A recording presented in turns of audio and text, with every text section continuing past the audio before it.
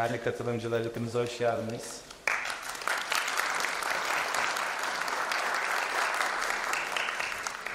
Bilimle, sosyal bilimle ilgili bu kadar kaliteli ve güzel insanı bir arada görmek atölye adına bizleri çok mutlu etti.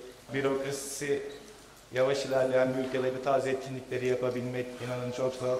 Özel teşekkür etmek istediğim insanlar var. Bir tanesi bugün şereflendirdiler. Siyaset bilimi ve kamu yönetimi bölüm başkan yardımcısı Sayın Atilla Aytekin. Bu etkinliğin gerçekleşmesinde karşılaştığımız bütün bürokratik engellerin aşılmasına çok büyük katkısı oldu. Sağ olun hocam. Teşekkür ederim. Bizleri bu akşam onurlandıran pek çok akademisyen var. Hepsinin affına sığınarak benim için özel olarak için ismini anmak ve teşekkür etmek istiyorum. Vermont Üniversitesi öğretim üyesi Sayın Boğaç Ergen'e, Çankaya Üniversitesi'nden Profesör Doktor Aykut Hansu, yine bölüm hocam, arkadaşım, ablam, desteğimizden esirgemeyen e, Akil Ozorlu hocam, bölüm arkadaşlarım Ömür hocam, İrfan hocam, hepiniz hoş geldiniz. Bizleri onurlandırdığınız için teşekkür ederim. Tanıl hocam bana bir başlık verir misiniz dedi. Konuşma başlıklarımız ne olacak dedi. O da bana dedi ki o serbest takılalım dedi. Ben de tamam hocam tam usulü serbest takılalım dedik. Ve huzurlarınızda hem Tanıl Hoca hem Suavi Hoca'ya katılımları için çok teşekkür ediyorum. Onlar da bizim atölyemizi onurlandırdılar. Böylesi iki ismi bir arada izleyebilmek bizler adına, atölyemiz adına bir hayaldi. Umarım keyifli ve güzel bir panel gerçekleşir. Panelimiz şöyle ilerleyecek. Hocalarımız 20 ila 25 dakika arasında bir konuşma süresi olacak. Sonra en zevkli kısma geçeceğiz. Sorularımızı alacağız. Hocalarımızı da pek yormayalım çünkü özellikle Tanıl hocamızın bir an evvel Almanya'ya gitmesi gerekiyor. Orada da saygıdeğer hanımefendi eşiyle bir söyleşisi olacak. İlgilenenleri Almanya'da bekliyoruz. Sıfırıncı sınıf hesap, hesaplarını takip ettiğiniz için çok teşekkür ederim. Çok da kısa bir sıfırıncı sınıf konuşması yapmak istiyorum izin verirseniz birkaç cümleyle. Biz gönüllü çocuklarız. Mesela Emre İmamoğlu arkadaşımız bu etkinlik için söylemekten hiçbir zaman geri durmadı. TÜBİTAK bursunu harcadı. Oradan kal harcadı.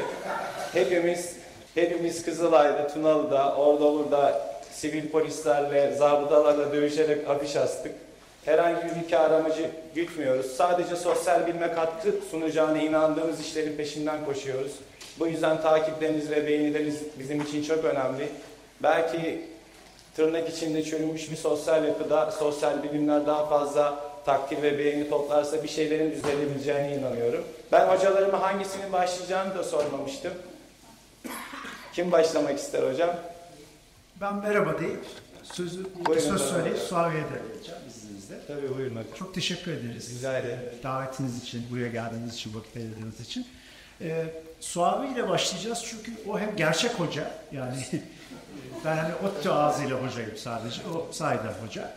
E, bir de kendisi çok, hala birkaç yıldır sürdürmekte olduğu milliyetçilik üzerine çok ciddi bir çalışmayı artık tamamlamaya yöneliyor ve dolayısıyla hem bilgileri e, hem hukufu çok daha taze ve derin e, hem de aramızda bir tür şöyle iş bölümü var. O daha ziyade milliyetçiliği yapısal olarak analiz eden bir konuşma yapacak. Ben e, benim ihtisas ya da ilgi sahamım daha çok milliyetçi ideolojiler. E, ben de ideoloji cephesinden e, onun söylediklerini başka cümlelerle tekrar edeceğim. Merhaba, hoş geldiniz. Evet, Bu imkanı verdiğiniz için teşekkür ederiz. Tanrı'la biz böyle de çıkmadık beraber. Yani çok konuşuyoruz ama böyle seyirci önünde konuşmadık böyle de, izleyici önünde. Bu fırsat çok iyi geldi bana. Ee, en azından birbirimizi besleyeceğiz e, konuşma. O yolda ilerleyecek. Ee, Tanrı'nın bahsettiği gibi bir küçük bir iş bölümü yaptık. Ben biraz milliyetçiliğin tarihsel oluşumundan, bunun yapısal özelliklerinden ve e, çeşitlenme biçiminden söz edeceğim. Biraz da Türkiye'de bu iş nasıl başladı filan bunlarla ilgili birkaç laf etmek istiyorum. Milliyetçilik dediğim şey nedir? Öncelikle onu sarahate kavuşturmak lazım.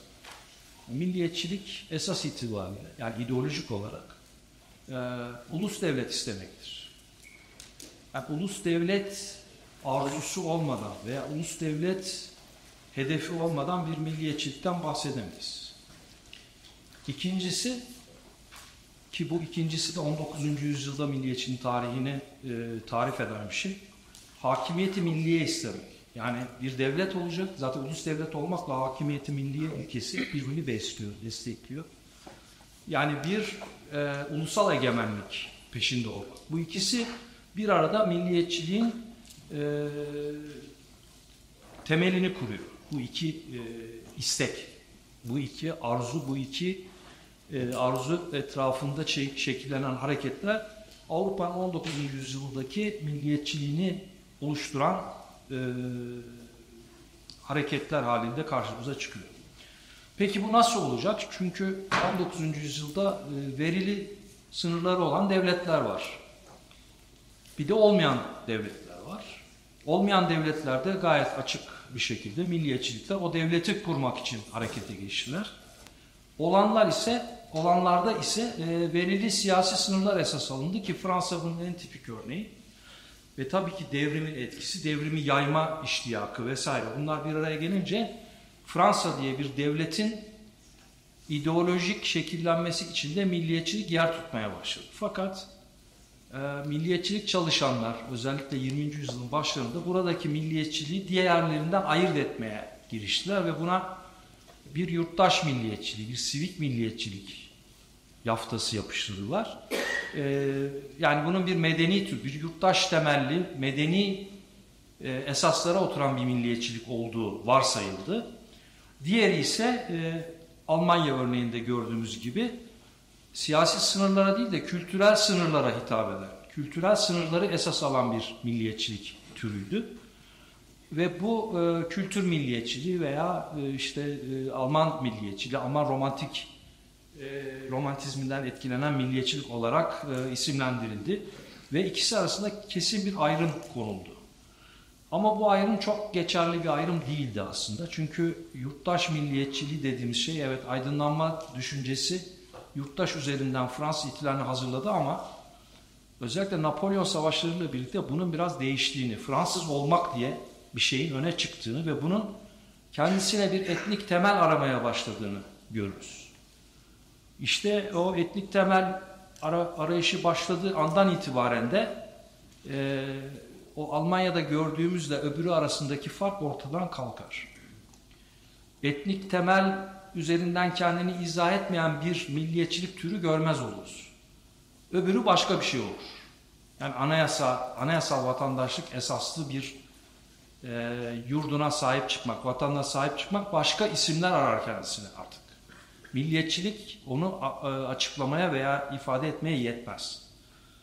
İkinci bir e, durum yine 19. yüzyılda gördüğümüz bütün milliyetçi hareketlerin 19. yüzyılda e, iki karşıtı vardır. Yani iki şeye karşı reaksiyondan beslenirler. Bir tanesi bir hanedanın yönetimine karşı olan e,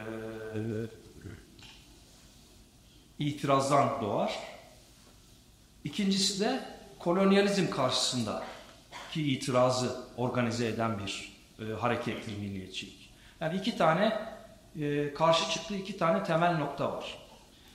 Dolayısıyla e, bu ikisini bir arada düşündüğümüz vakit e, 19. yüzyıl için sosyalizmle milliyetçinin kardeş olduğunu söylersek yanlış bir şey söylemiş olmayız. Yüzyılın sonuna doğru birbirlerinden kopuk düşman kardeşler haline geleceklerdir ama ortaya çıkış e, hallerine baktığımız vakit ikisinin kardeş olduğunu görürüz. Çünkü ikisi de halka dayanmaya e, ve e, belirli yönetici sınıflara karşı itiraz etmeye yaslanarak geliştirilmiştir. E, bu arada tabii bu milliyetçilik tartışmalarının bir yanı da e, özellikle son yıllarda e, kimlik tartışmalarının ortaya çıkmasından sonra başlayan bir şey bu. E, ulus nedir tartışması. Ulus nedir? Efendim işte e, milliyetçiliklerin genellikle iddia ettiği gibi ulus modernite öncesinden beri gelen bir şey.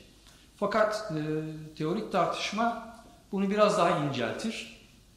E, bir grup işte prim, primordialist dediğimiz bir grup e, akademik e, bunu e, modern öncesine götürmeye çalışır ve oradan ulusun temellerini arar. İşte fakat bu bugün pek itibar edilen bir görüş olmasa da e, uzunca bir süre kendini tartıştırmıştır. Şimdi e, buradaki şey, e, buradaki temel soru şu. E, ulus devlet olmadan ya da ulus devlet hedefi olmadan milliyetçilik olabilir mi? Ya da ulus ulusla milliyetçiliğin bağını kurduğumuz an 19. yüzyılsa bunu öncesine bunu nasıl götürebiliriz? Bu ciddi bir e, açık soru. E, buna e, olumlu cevap verenler yani prim, primordialist dediğimiz grup e, etnisite ile ulusu birbirine karıştırarak bir izah yapmaya giriştiler. Yani bazı ulusların etnik temellerinin modernite öncesinde varoluşundan hareket ederek e, ulus denen toplumsal varlığın esasen e, modernite öncesinde kendisini var ettiğini, kendisini gösterdiğini ileri sürdüler. E, bu izah biraz problemli çünkü etnisite ile ulus arasında çok ciddi farklar var. Bu farkları görmeden e, bir e, izah yapmak, bir e, teorik sonuca varmak çok zor. İkincisi de aidiyet meselesi. Yani modernite öncesinde ulusal aidiyet dediğimiz, bugün tanımlayabildiğimiz, bugün gördüğümüz, gözlemlediğimiz şeye benzeyen bir şey var mıydı? Bu soruya doğru, e, olumlu cevap verebilirsiniz ancak bu geriye doğru inşa mümkün hale gelir. Fakat e, bu etnisite ulus karışıklığı e, bize doyurucu cevaplar vermiyor. Dolayısıyla modernist dediğimiz görüşün daha e, açıklayıcı olduğunu, daha e, bizi ikna edici olduğunu söylememiz mümkün. Bir de şuna dikkat çekmek lazım. Bu primordialist dediğimiz yani modernite öncesine milliyetçiliği ve ulusu götüren grup içinde Yahudilerin ağırlığı çok fazla. Yahudi akademisyenleri ve onlar Yahudiliğe bakarak bunu söylüyor aslında çoğunlukla. Verdikleri örnekler e, genellikle e, Yahudi komünitesi üzerinden fakat bir şeyi kaçırıyorlar, e, devleti kaçırıyorlar. Yani modern devlet olmadan ulusu görmek pek mümkün değil. Çünkü mesela şöyle söyleyeyim, belki daha kolay e, anlatabilirim. E, Yahudi diasporasının komüniteler halindeki organizasyonuyla bugünkü İsrail devletinin organizasyonu arasındaki farka bakarsak e, primordialistlerin söylediği şeyin boşa çıktığını da görebiliriz. İsrail devleti bir İsrail milliyetçiliği inşa eder. Fakat e, diasporik komünitelerin e, böyle bir kabiliyeti yoktur. Bunu 19. yüzyıldan itibaren Siyonizmle zorlamaya başlarlar ve nihai hedefi yine bir ulus devlete kavuşmaktır. Dolayısıyla burada e, bu görüşün ya da bu tartışmanın aslında e, sonunun geldiğini de söylemek mümkün.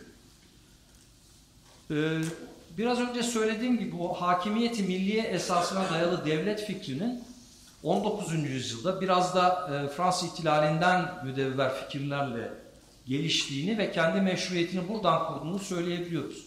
Ancak ulus devletler kurulduktan sonra demokratik temelin ortadan kalktığını, e, daha militarist, efendime söyleyeyim, daha militarist değil aslında militarizm öyle çıkıyor ortaya. Militarist, e, devlet fikrine yaslanan ve e, yurttaş yaratma müesseselerine ağırlık veren bir formasyon haline geldiğini görüyoruz. Yani artık demokratik esaslarından uzaklaşan, nasıl yönetildiğinin çok önemi olmayan ama meşruiyetini sağlamak bakımından o millet denen şeye referans veren bir siyasi varlıktan söz ediyoruz.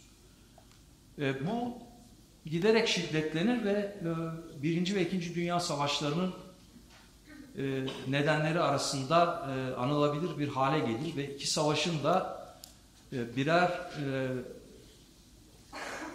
ulus devletlerin kendi e, hakimiyet alanlarını genişletme mücadelesi olduğunu söylersek e, ve oradan bir analiz yapmaya kalkarsak e, baştaki çıkış noktasıyla yani ulus devletin kurucu ideolojisiyle geldiği nokta arasındaki farkı da görmüş oluruz ya da daha rahat görebiliriz. İkinci Dünya Savaşı'ndan sonra ise e, sivik milliyetçilik diye başta ayırt edilen ama esasen yurttaş temelli anayasal devlete, demokratik devlete bir geri dönüş olur. Çünkü iki savaş e, ulus devletlerin geldiği noktada e, büyük felaketlere yol açmıştır. Hem ideolojik olarak hem faktüel olarak, olgusal olarak bundan kaçınan bir devlet modeli inşa edilmeye çalışılır. Ee, ve e, yurttaş meselesinin önde olduğu bir devletle karşılaşırız. Sosyal devlet, refah devleti bunları görürüz. Ee, bu devlet formu yani işte modern devlet e, 1980'lerden itibaren aşılmaya başlar. Ee, özellikle neoliberalizmin etkisini arttırmasına paralel olarak e, bu devlet tipinin sağladığı sosyal özelliklerin ya da sosyal devlet niteliğinin e, yavaş yavaş ortadan kaldırılmaya başladığını başladığını, görüyoruz. E, ikinci olarak e, bu savaş sonrası dönemde giderek yükselen sol düşünce ve sınıf mücadelesi zafiyete uğramaya başlar 80'lerden itibaren. E, ve bu zafiyetin bir sonucu olarak sol hareketin veya sınıf mücadelesinin gölgesinde kalmış başka fikir hareketleri, başka sosyal hareketler öne çıkmaya başlar. Bunlar içerisinde kadın hareketi, etnik canlanmalar, e, bazı kültürel grupların öne çıkmaya başlaması gibi bir takım e, şeyleri görürüz.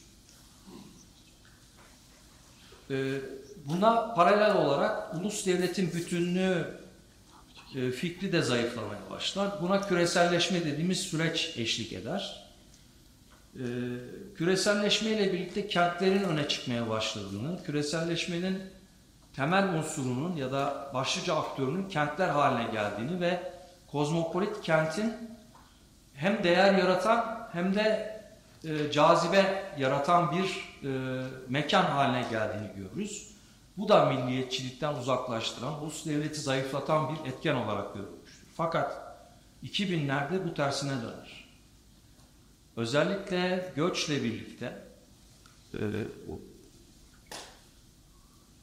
ve göçlerin e, doğurduğu kozmopolitizme karşı gelişen akımlar ya da buna tepkiler yeni sağ dediğimiz bir şeyi diriltir ya da sağ hareketi yeni bir halde karşımıza çıkar. yerliler göçmenlere karşı gibi bir yeni durumla karşı karşıya kalırız. Bu durum ulus devletin daha güçlü hale gelmesi gerektiğine dair fikirlerin ve ideolojilerin öne çıkmasına yol açar.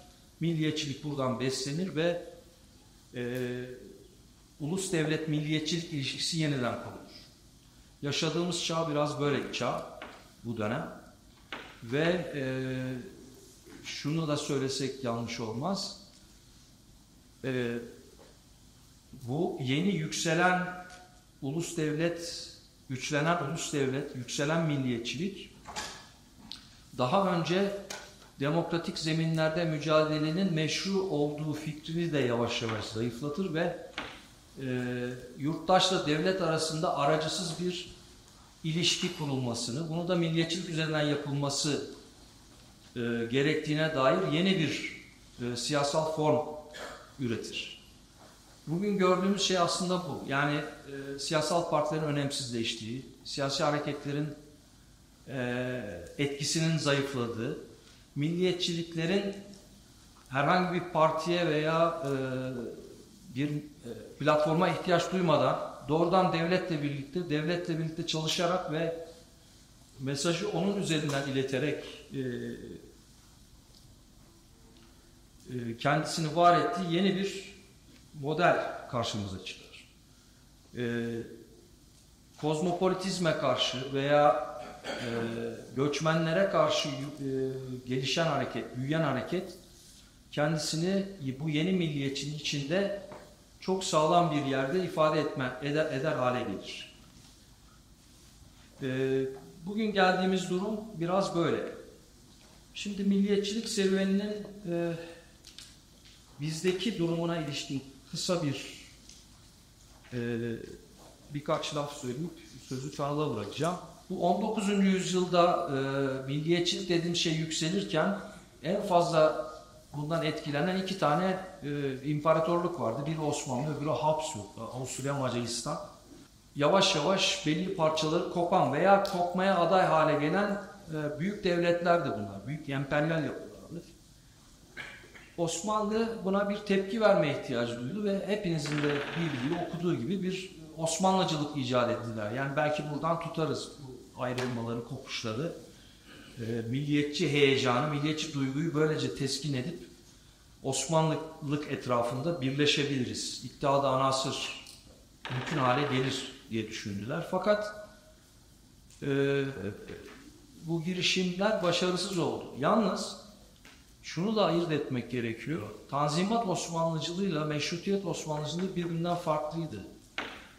Tanzimat Osmanlıcılığı hala e, hanedana bağlı, hanedana dayalı bir teba fikriyatı üzerinden kendisini oluşturmuştu.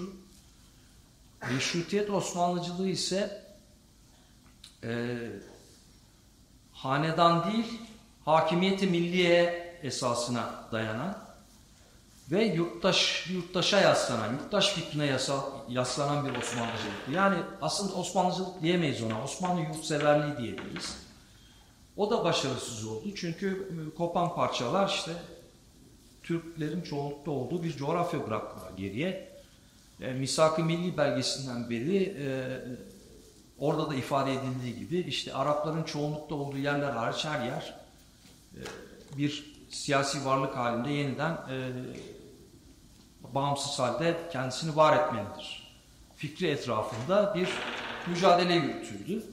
Dolayısıyla Osmanlı yurtseverliğine, yurtseverliğin açtığı kanaldan Türk milliyetçiliği kendisine bir yol bularak Cumhuriyet ideolojisinin en temel dayanaklarından biri haline geldi. Ee, bir ikinci not söyleyeyim. Ee, Atatürk'ün milliyetçiliğiyle 38 sonrası milliyetçilik arasında da bir fark görebiliyoruz. Ee, yani devlet milliyetçiliği olarak izah edebileceğimiz.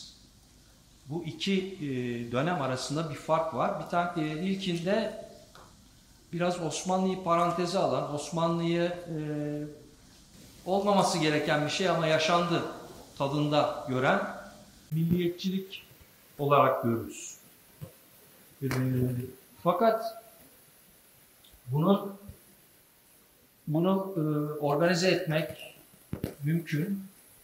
Türk tarih tezi, Türk dil tezi vesaire bunu sağladı. Fakat bununla halk arasında ilişki kurmak hiç kolay olmadı. Yani bu kimliği aktarmak, bu kimliği benimsetmek e, ciddi bir meseleydi.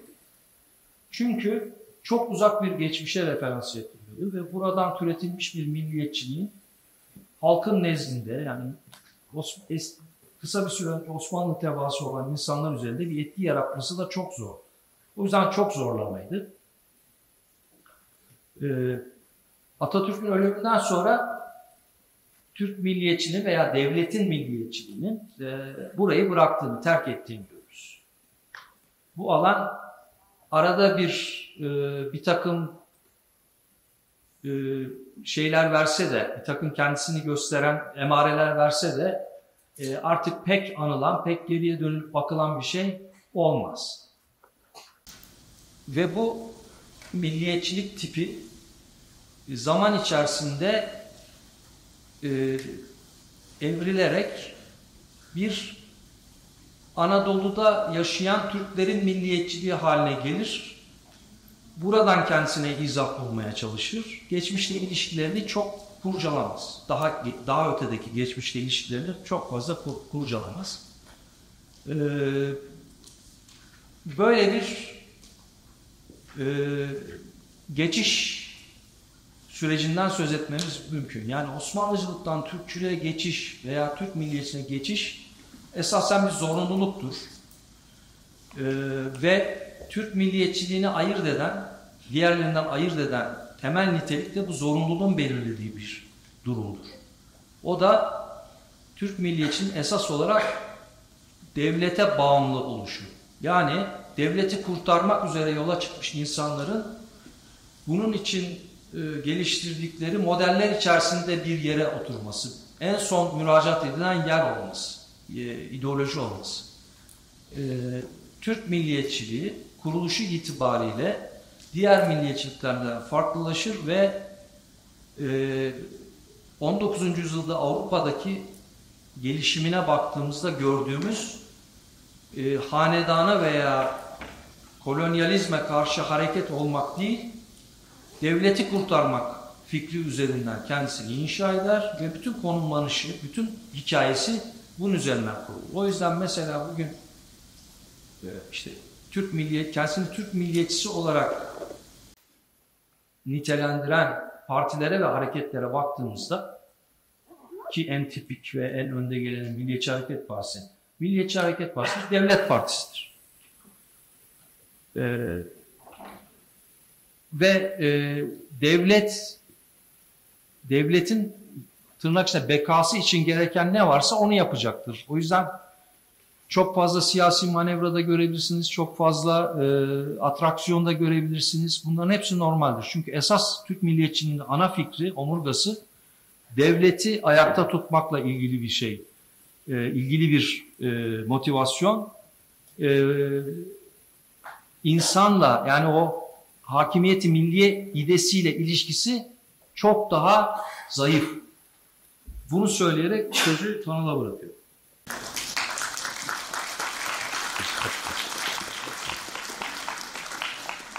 Evet yani zaten Türkiye'de dediğim gibi milliyetçilik zaten yüksek bir seviyede duruyor en azından Türkiye'de.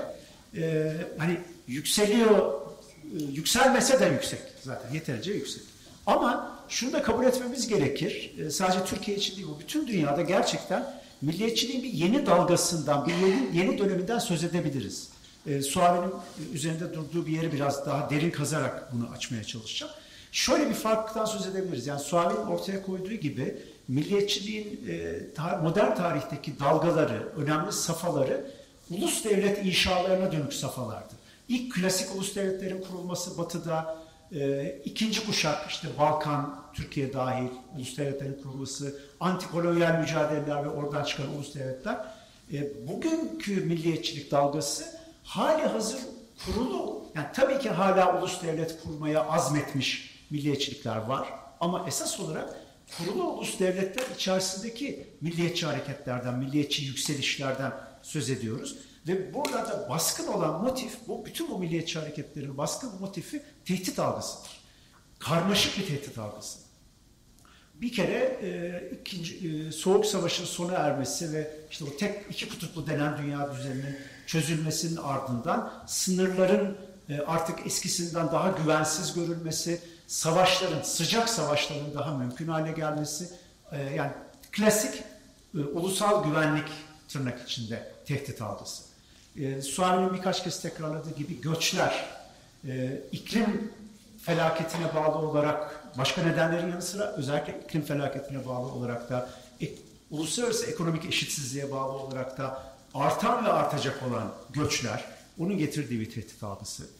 Sosyal dev- devlet, sosyal refah devletinin çözülmesinin e, insanları yalnız aç bırakması, yani e, devletin sosyal refah koruyuculuğundan yoksun hale gelmesi, e, insanların e, kendi hallerine bırakılması ve bir, yani bir tutunum, bir cemaat, bir koruma arayışıyla reaksiyonel bir şekilde e, millet öznesine e, tutunması, e, refah şövenizmi, hem göçe bağlı hem e, global neoliberal globalleşmenin hızla derinleştirdiği eşitsizliklere karşı refahını koruma, e, dışarıdakine karşı, hasım olarak gördüğüne karşı, rakip olarak gördüğüne karşı e, elindeki o refah parçasına, refah imkanına sahip çıkma ya dönük tehdit algısı. Gerçekten de dediğim gibi çok karmaşık bir tehdit algısı bu.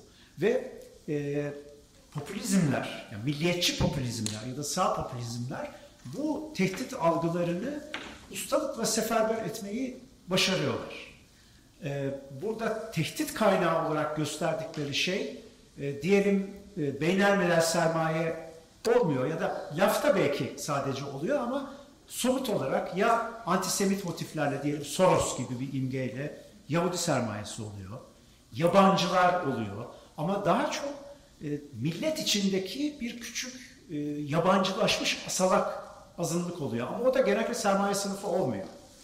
E, işte o Suavi'nin yine ısrarla uyguladığı anti-kozmopolitizm bu bakımdan önemli. Yabancılaşmış sayılan, yani sosyal ve kültürel olarak üst sınıf olarak damgalı. Yani bizden farklı yaşayan, bizden farklı beğenilere sahip, bizden farklı filmler seyredip, bizden farklı müziklerle eğlenen, yabancılaşmış bir zümre. Ee, yani pratik olarak aslında daha çok beyaz yakalı e, orta sınıflar daha ziyade düşmanlaştırılanlar oluyor pratik olarak. Ve insanların nefretini, e, hani bizi kendi vatanımızda parya ediyorlar, öz vatanımızda parya oluyoruz duygusunu seferber etmeye en elverişli motifleri işte antisemitizm üzerinden, anti, anti kozmopolitizm üzerinden, antikapitalizm süsü verilmiş e, bir milliyetçilik üzerinden seferber etmeyi e, çok ustalıkla başarıyor. Ama e, hani meşhur futbol sözü var ya, futbol asla sadece futbol değildir. Milliyetçilik, yani şu günümüzün yükselen milliyetçiliği bağlamında en azından asla sadece milliyetçilik değildir. Bunun arkasından, bunun arkasında çok güçlü sınıfsal, toplumsal yalnızlık endişeleri, e, yoksul ve yoksun düşme endişeleri, çok karmaşık tehdit algıları var. Milliyetçiliğin muazzam başarısı bu tehdit algılarını ustalıkla bir demet yapıp ve mükemmel düşmanlar tayin edip e, zaten de çok güçlü bir söylem milliyetçilik, kurumlaşmış bir söylem. Koca ulus devletler var arkasında. Ustalıkla bu tehdit tehdit algısını, bu tehdit algısından kaynaklanan reaksiyonu, alarm hissini e, seferber etmeyi başarması. Yani günümüzün yükselen milliyetçiliği, e, habire yükselen milliyetçilik içerisinde özellikle günümüzün milliyetçiliğinin e, spesifik anlamının e, bu olduğunu düşünüyorum. E, sualeden devamlı. Yani milliyetçilik bu sözünü ettiğim farklı çelişkileri, sınıfsal, toplumsal, insani, beşeri çelişkileri kendi diline tercüme etmekte olağanüstü mahir. Şimdi milliyetçiliğin maharetine gelelim. E, milliyetçilik neden güç, bu kadar güçlü bir ideoloji? E, şimdi Aziz Nesin bir söyleşisinde şunu diyordu milliyetçilik için. Ya milliyetçilik diyordu, ya benim burnum var diye övmek gibidir. Yani evet yani burnum var. E, ama yani bundan bir büyük bir meziyet çıkarmak, büyük bir farklılık çıkarmak. Benim yani bu tür çok doğal olan bir şeyi bir üstünlük, bir faikiyet, bir erdem e, olarak süsleyebilmek. E, milliyetçi ideolojinin birinci gücü, yani en önemlisi anlamda söylemiyorum, ilk sırada, ilk aklıma gelen gü- gücü, doğallık e, tasavvuru. E, doğa, kendini doğal olarak sunma kudreti. Ee, özel olarak bir tercihte bulunmamız gerekmeksizin, e, bir, bir, bir fikri bir arayış, bir edinim gerekmeksizin kendi halimizde zaten milli ve mi- milliyetçiyizdir. Öyle olmamız gerekir. Milliyetçiliğin bize öğrettiği ve söylediği budur. Ee, milletle en fazla eşlenen metaforları bilirsiniz. Aile ve ev, yurt, aile ve ev zaten ev vatana da tekabül eder. İkisi de içine doğduğumuz, irademiz dışında bizi biçimlendiren, bizi kucaklayan e, varlıklar, ortamlar, aile ve ev. Nasıl boğucu da olabildiğini bilirsiniz yani. En azından ergenliğinizi hatırlayın. E, ama bunlar çok sadece bu metaforlarla değil yani milliyetçilik bu doğallık tasavvuruyla doğal olanı temsil ettiği, yani adının bile konması gerekmeyecek kadar aşikar ve ortada olan kendiliğimizi temsil ettiği iddiasının sahibidir. Çok bu çok güçlü bir temel. Çok güçlü bir ideolojik başlangıç noktası. Ee, Suavi'nin milliyetçilik teorilerinin iki kaynağına değinirken e, belirttiği primordialist yaklaşım var ya yani kabaca iki yaklaşım var milliyetçilikleri açıklarken. Bir modernist yaklaşım. Yani milliyetçilik ve ulusallık modern bir olgudur. Bugünkü konuştuğumuz anlamıyla milliyetçilik modern şartlarda ortaya çıkmış bir olgudur. Bir, bir görüş bu. Öbür görüş yani primor, primordialist görüş milletlerin ezeliliğini ileri sürer. Ya bugünkü anlamıyla millet değildir belki ama yani ilk insandan beri, insanın ilk cemaatleşmesinden, bir av peşine düşmek üzere bir topluluk oluşturmasından, ilk çeteleşmesinden e, yana millet vardır buna. Şekil değiştirerek, ideolojik çerçevesi değişerek, ekonomi politiği değişerek bir ezeli ebedi ya da işte Türk devletine yapıştırılması pek sevilen sıfatla ebed müddet bir varlıktır buna göre milliyetçi. Bir ezelilik tezi. Ezelden gelip ebede giden bir varlık. E, bu da milliyetçiliğin çok güçlü, argüman demeyelim buna, mitlerinden biri. E, özgünlük, biriciklik kendine mahsustur. İşte o burun. E, sadece kendisinde olduğuna inanabilmek o. E, bütün insani hasletleri, meziyetleri, güzellikleri, romantizmi, her şeyi millete atfetmek, milletten doğuya varsaymak ve hani nasıl anneler çocuklarını hiç kimselere benzemeyen oğlum benim diye sağırlar. Hani kendi milletini kimselere benzemeyen, mukayese edilemez, bambaşka olarak düşünmek. Tanımlanamaz bir bambaşka, bambaşkalıkta. Hani e, anlatılmaz yaşanır e, söylemine benzer bir şekilde. Özgünlük, biriciklik iddiası. O nedenle mesela taklitçilik, yabancı hayranlığı, e, işte dışarıya öykünmek, bütün bunlar milliyetçi söylemin çok elverişli karalama motifleridir. Bir özgürlük iddiası. Çünkü tabii herkes öz- herkes özgün olmak ister. E, herkes kimselere benzemeyen e, meziyetleriyle temayüz etmek ister. Milliyetçilik buna hitap eder ve çok bence yalın ve temiz tanımıyla sosyal psikolojik terim kullanacaksak kolektif narsisizmdir. E, bir biz narsisizm. Yani e, yine bazı e, milliyetçiliği edebiyat üzerinden inceleyen bazı yorumcuların kullandığı e, tabirle kendi kusurlarına aşık olmak. Yani hatamız da varsa bizim hatamız. E, eksik görmüyorsa, tuhaf görmüyorsa da bizim tuhaflığımız. Onu eleştirmeyin, sevin. Yani sevelim kendimizi. E, bu da çok kolay ve elverişli bir motif.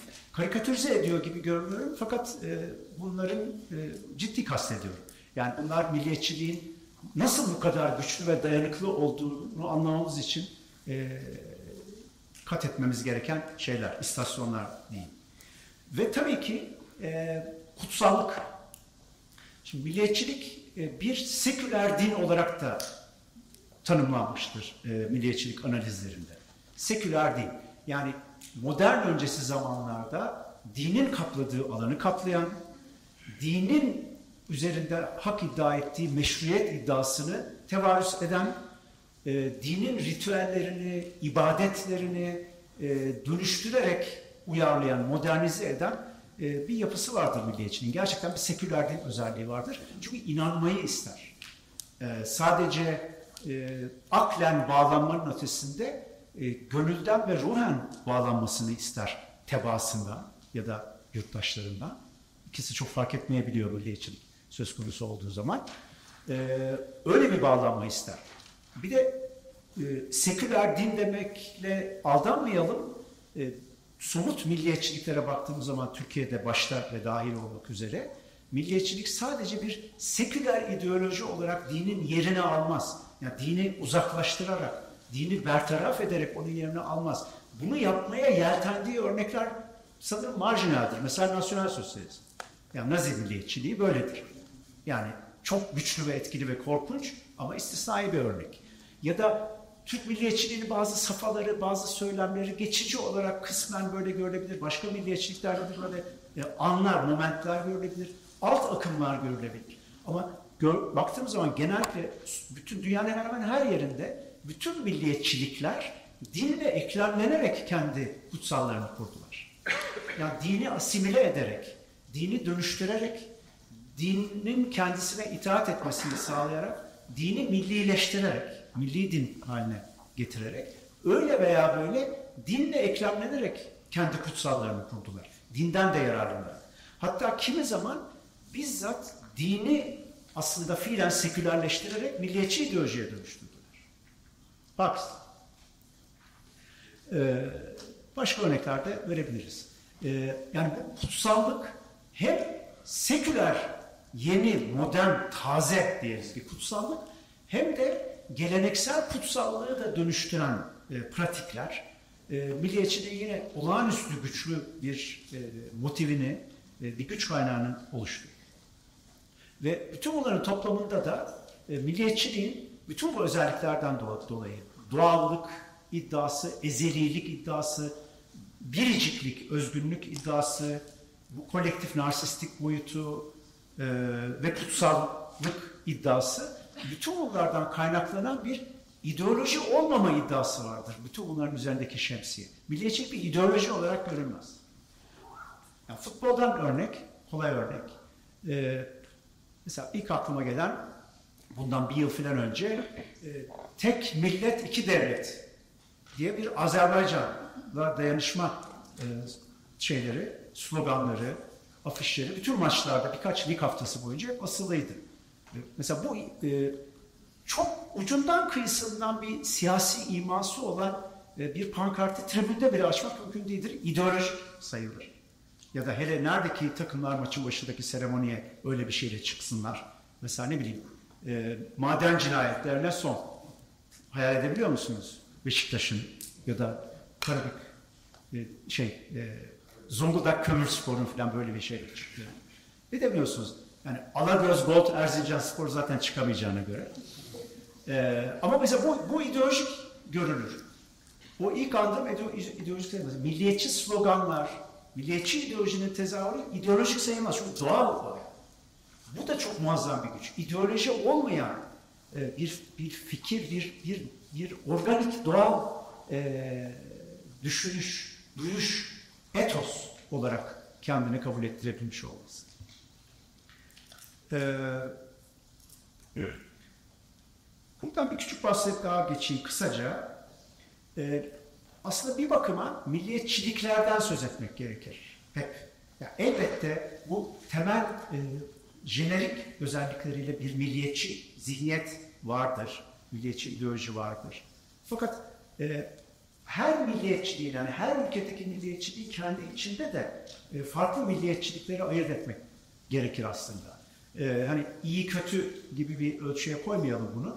E, sınıfsal olarak, toplumsal olarak ideolojik gö- göndermeleriyle farklı referanslara dayanan, e, farklı e, argümantasyonları olan, farklı millet tanımları, farklı milliyet tanımları olan farklı milliyetçilikler her milliyetçilik bünyesinde vardır. Bana çok eski bir şablon hala açıklayıcı geliyor. Bunları tasnif ederken e, temel ayrımı e, yine Suavi'nin de kullandığı bir e, kalıbı tekrarlayarak kullanacağım. Yani bir uçta vatandaşlık temelinde. Yani milliyet, milletin e, temeli olarak esas olarak veya sadece mümkünse vatandaşlığı gören milliyetçilik bir uçta. E, öbür uçta bu ırkçılığa kadar giden şu veya böyle bir öz arayan, özcü milliyetçilik. Yani bu ırk olabilir, bir kültürel millet tanımı olabilir, e, kutsallaştırılmış bir coğrafya ilgisi olabilir, her şey olabilir ama değişmez bir öz.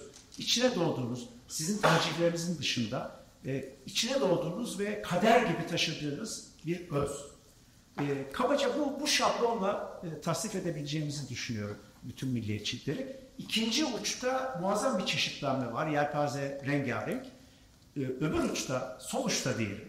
Yani vatanseverlik de deniyor buna biliyorsunuz. Bunun örnekleri, fiili örnekleri ne yazık ki çok az. Yani tarih boyunca çok az. Belirli momentlerde onun ışığını yakıp, e, yanıp söndüğünü görebiliriz.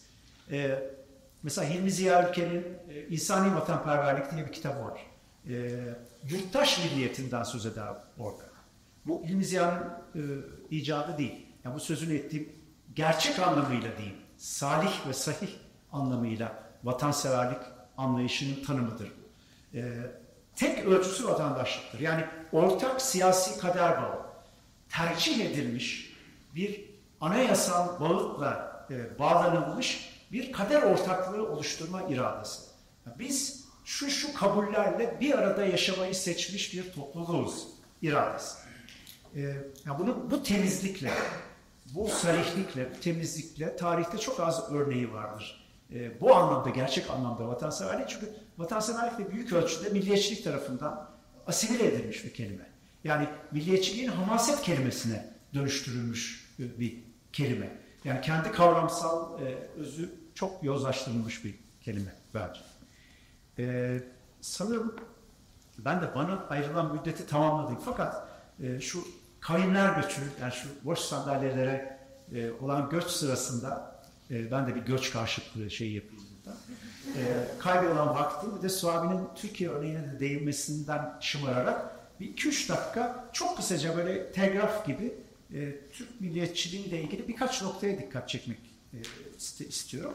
Bir tanesi çok uzun yıllar önce e, Türk milliyetçi, yani milliyetçilikler dedim ya, Türk milliyetçiliğinin temel lehçelerini, yani bir dilse Türk milliyetçiliği, temel lehçelerini ayırt etmiştim. Kabaca hala geçerli bir tasnif olduğunu düşünüyorum.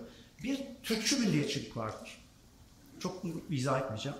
Bir e, resmi milliyetçilik vardır fakat onun bu son 8-10 yılda değiştiğini ve dönüştüğünü görüyoruz. Onun için onu askıya alalım. Bir Kemalist milliyetçilikten söz edilebilir. Kemalist milliyetçiliğin kendi içinde bir sürgün olarak, sürgün dediğim bir yere atılmak anlamında değil, uç verme, dal verme anlamında ulusalcılıktan söz edilebilir. İkisi tam aynı şey değil, yakınsamakla birlikte tam aynı şey değil. Ee, liberal milliyetçilikten söz edilebilir. Yani kendini büyük ölçüde ekonomik başarılar ve kalkınmacı, büyümeci e, bir söylemle meşrulaştıran ve o temelde bir e, ilerleme ve millet ideali kuran liberal milliyetçilikten söz edilebilir. E, bir de İslamcı muhafazakar milliyetçilikten söz edilebilir ki 10 sene önce daha ziyade Kemalist milliyetçiliğin işgal ettiği resmi milliyetçiliği şimdi bir süredir onun büyük ölçüde e, işgal ettiğini e, görüyoruz. E, bu tasnifler bana hala geçerli gibi geliyor. Bir de Türk milliyetçiliğinin e, yine Suavi'nin emperyal geçmişle ilgili e, anlattıklarına bağlanarak e, birkaç karakteristik yine sadece değinmek istiyorum. E, bunlardan e, burada özellikle şunu sormak istediğim e, o imparatorluk bakiyesi bir ulus devlet. İmpara, imparatorluktan arda kalmış, imparatorluktan kurtarılmış bir toprak üzerinde kurulmuş bir ulus devlet olmaktan kaynaklanan e, bir e, emperyal sızı var Türk milliyetçiliğinde. Yani e, biz aslında imparatorluktur. Tuk e, bilinç dışısı e, var diye. E, bu da e, bu bir kompleks. Bir karmaşa anlamında bir kompleks. E, ve özellikle de kendisini batıyla ilişkisinde, batıya bakışta bir hınç haset kompleksiyle gösteriyor. Yani hem haset etmek hem de hınç duymak o emperyal geçmişle e, ilgili. E, bunun da bence emsalsiz örneği yine Roland'dır. Avrupa Avrupa duy sesimizi işte bu işte ayak sesleri. Hem yani meydan okumak ama oraya meydan okumak. Yani onlar dinlesin. E, bu, bunlar çok önemli karakteristikler bence. Yani Türk milliyetçiliğinin e, psişesine damgasını vuran ama hepsinin öncesinde e, yine Suami'ne değindiği beka kaygısı, beka endişesi, yine imparatorluk kaybıyla da bağlantılı hem de sadece kuruluş dönemiyle değil çok etkili ve derin bir soğuk savaş deneyimiyle de e, ve güçlü bir antikomünizmle formatlanmış e, bir beka kaygısı motifi. Ben de burada tam kesersem saat tam 4 olacak.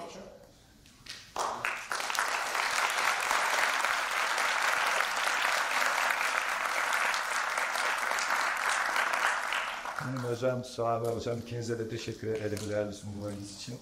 Arkadaşlar aslında ODTÜ misafirperverliğinin bir nişanlısı olarak size ikramda bulunacaktık diye ederek ama böylesi bir kitle tekrar gelip çıkarsa kaos yaratır diye düşünüyoruz.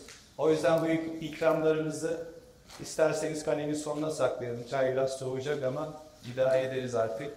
E, soru kısmına geçeceğiz. Soru kısmı ile ilgili ricam olacak. Soruları çok e, girift ve tekrar eden bir şekilde sormazsak, kısa kısa sorarsak diğer arkadaşlarımız için de soru sorabilme imkanı vermiş oluruz. Buyurun hocam. Teşekkürler her şey için. Ee, organizasyonda emeğe geçen herkese çok teşekkür ederim Ee, benim aslında Suavi Hocam de e, sizlere bir sorun olacak. Ayrı ayrı şekilde şey olacak. Kısa cevaplamak istiyorum. Ee, birincisi siz hani e, galiba Birikim Dergisi'nin olması gerekiyor. Geçen sene de yine yeni milliyetçilik e, gibi bir yazı kaleme almıştınız. Ee, orada da hani gene aynı şekilde iki savaş arası dönemdeki benzerlikten bahsetmiştiniz Lütfen milliyetçilik konusunda. Bundan farklı, yani iki, iki savaş döneminden farklı olarak e, burada bir karşı cephe açılmadığının, e, yüksel milliyetçiliğe karşı sol tarafta bir karşı cephenin olmadığından e, yakınmıştınız diyebilirim e, en şey noktasında. E, bunun olmamasının bir distopik senaryoya götüreceğini düşünüyor musunuz? Veya çünkü yani ikisi, iki seferde de Hangi dönemde yok demiştin? iki savaş arası dönemde yani Birinci ve ikinci Dünya Savaşı arası. yani 1930'lardaki hemen faşizmde e, büyük buhranın getirisi ve ekonomik giriften, ekonomik krizin e, sonucu olarak çıktığından beri bahsetmiştiniz. E, ardından da işte bu 80 sonrası neoliberal e, politikalarla beraber gene aynı şekilde bir milliyetçiliğin yükselmesinden bahsetmiştiniz. Ve bu ama solun birkaç cephesinin olmadığından e, demiştiniz. 80 sonrasını diyorsun. Ha, evet, Tamam. evet. Ee, bunun bir sonucu olarak yani bunu biraz açabilir misiniz diyecektim. E, ikinci olarak da kısaca hani gene size son dokunduğunuz e, milliyetçinin biraz daha sol tarafa alıp düşen yurtseverlik kavramı üzerinden. E, sizin de gene bir e, yazınız var haftalıkta gene birikimde. E, bunun işte bir notika temizliği gerektiği de bu hususta e, bahsetmiştiniz. O, e, o noktayı biraz daha detaylandırabilirsiniz. Çok mutlu olurum. Teşekkür ederim şimdiden. Şimdi 80 sonrasında Türkiye'de sol diye bir şey kalmadı. Hepimizin bildiği bir şey. Ee, sol bölük bölçük yeniden canlanmaya çalıştıysa da e, başarısı ortada. Yani bugün bugünkü manzaradan da anlıyoruz. Bir de tabii Türkiye'de sol denilince e, Kemalizmle karışık bir şey anlaşılıyor. Bu da problemli. Ben oraya girmiyorum da şimdi o uzun bir mevzu. Fakat sadece Türkiye için değil, 80'den sonra bütün dünyada e, özellikle 80'lerin devamında Sovyetler Birliği çöktükten sonra e, sosyalist fikriyatın ve e, sınıf mücadelesi meselesinin ikincileştiğini görmeye başlıyoruz. Bunda neoliberal ekonominin başarısı tırnak içinde rol oynuyor.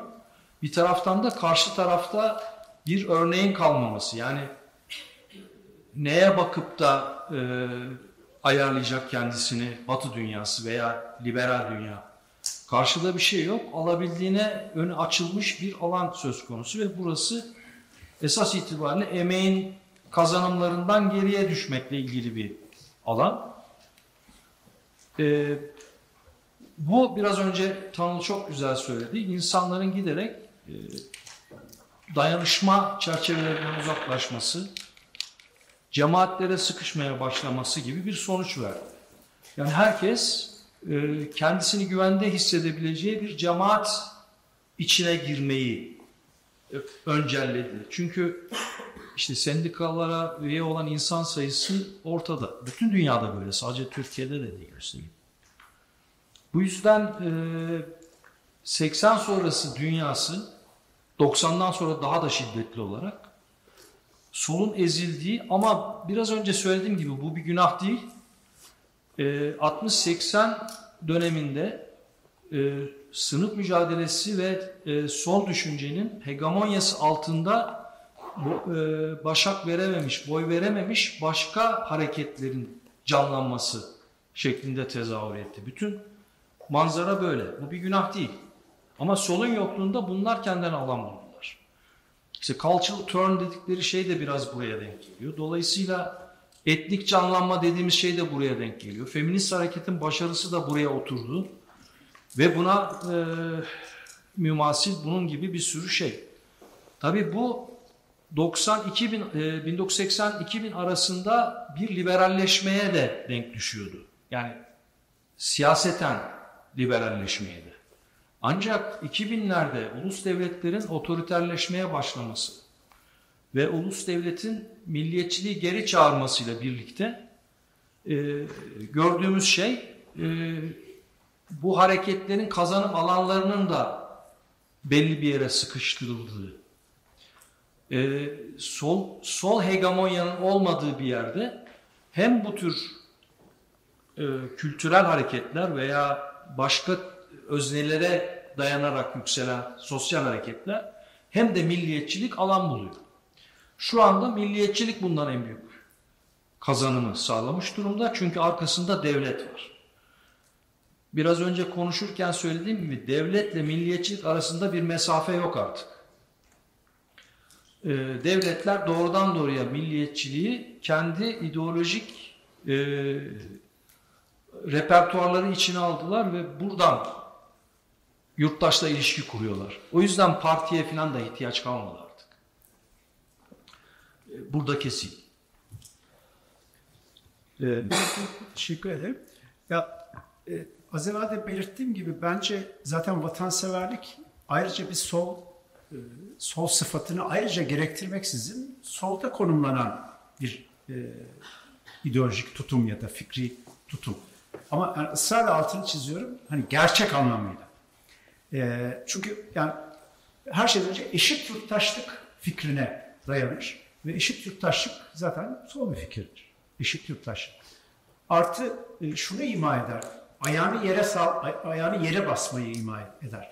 Yani somut bir coğrafyayla, somut bir memleketle, somut bir halkla alışveriş içinde olma, e, onda kök salmayı e, ifade eder romantik veçesiyle. E, bu da yani olum- olumlu bir işaret. Fakat mıntıka temizliği derken e, yani silkelenmesi gereken yurtseverlik kav- ka- kavramından çok fazla şey var. Dediğim gibi çok fazla el konmuş, gasp edilmiş, asimile edilmiş bir kavram. E, yani vatan yurtseverlikten farklılaştırdığım e, milliyetçi söylemin e, kendi hamaset e, kataloğu içerisinde, kendi hamaset repertuarı içinde büyük ölçüde kullanılan yani bir bir, dav, bir dav, davul zurna ve me- mehter kavramına dön- dönüştürülmüş bir kavram. Bunu sirkelemek çok zor.